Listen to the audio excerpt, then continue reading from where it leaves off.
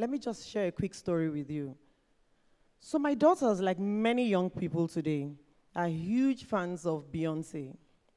In fact, because of them, there is hardly any Beyonce song which I don't know. Anytime she releases a new album, it's like Christmas Day in our family. So you can imagine the excitement last week when she actually released, or as they would say, when she actually dropped a new album. Screams galore. But I was even more surprised when I looked at the musical artists featured on the album. Tiwa Savage, Wizkid, Burna Boy, Yemi Alade, Shatta Wale, among others. Our own homegrown African talent.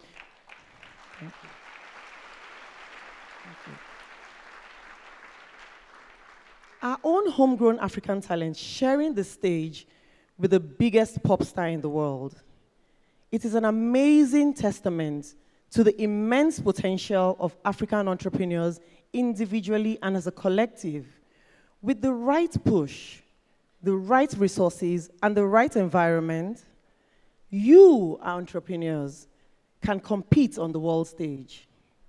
And this excellence cuts across all sectors in agriculture, in ICT, in fashion, in healthcare, really across all sectors.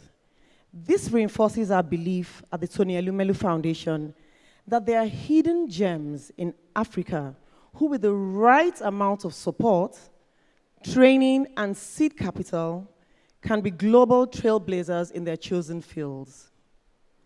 Young Africans, there is excellence in you.